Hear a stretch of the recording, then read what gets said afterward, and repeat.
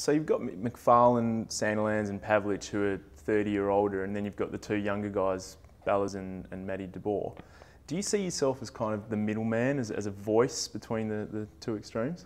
Um, oh, I guess to a certain extent in, in terms of experience in games played, but um, when we all go into that leadership group, we all speak with one voice and just try and get across the whole playing group.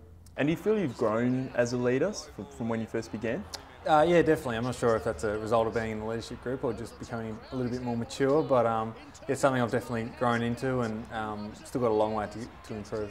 Is it your guys' job to, to relay any items of discussion that you might have from the leadership group to the AFLPA? Yeah, it goes both ways. We uh, liaise with Ian Prendergast at the AFLPA quite often, and uh, more often than not, when an issue is coming up, we um, then take it back to the leadership group and we discuss it and then kind of filter it out to the players.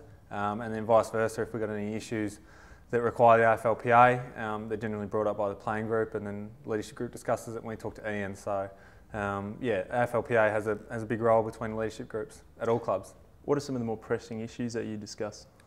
Uh, well, coming into this year's CBA, there's been a lot of CBA transitional um, aspects.